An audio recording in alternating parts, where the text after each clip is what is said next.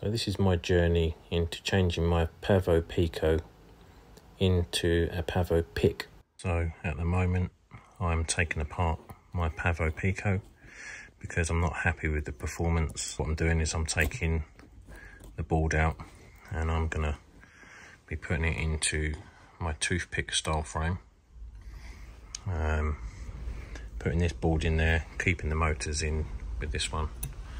These motors are, so the motors are Happy model EX12025 and the KV is 6400.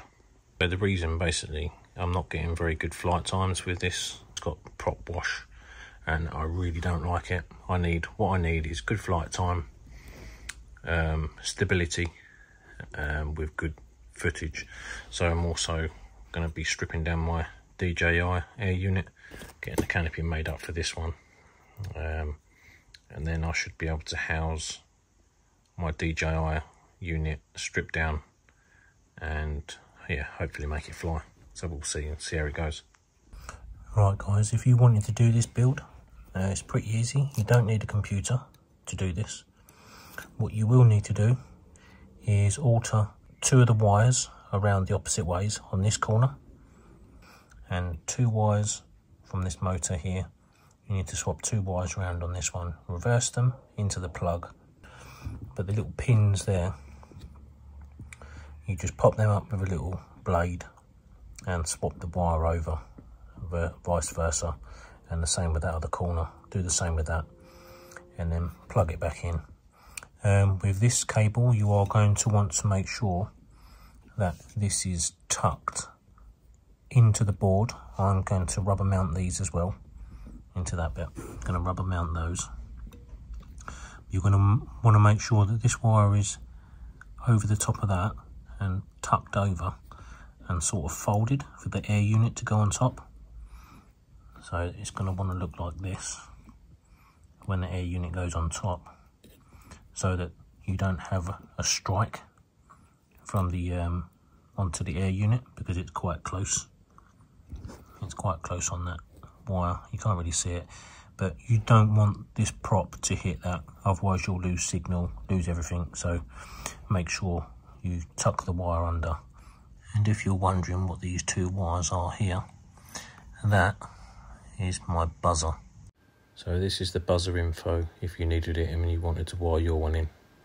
Very handy you won't be able to hear these motors if you lose it in the grass. So yeah, that's why I've done that. So at the moment, this is 40 grams. So this is with the air unit and cage, 40 grams. The cage is removed and it comes out 38 grams. Camera housing removed, 34 grams.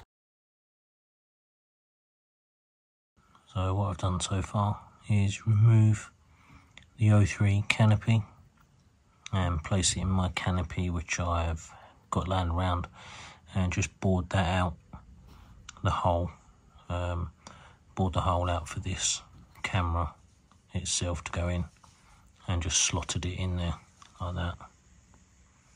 So the O3 air unit is now stripped down and it now weighs 18 grams.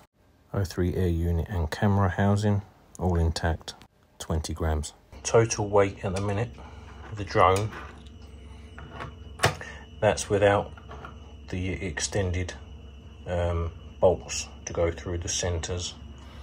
So at the moment the quad itself with loaded with the motors props as it is is 40 grams with the O3 air unit itself with antennas weighs in at 55 grams and then with the O3 air unit camera and wire harness 60 to 61 grams it's saying total weight so far.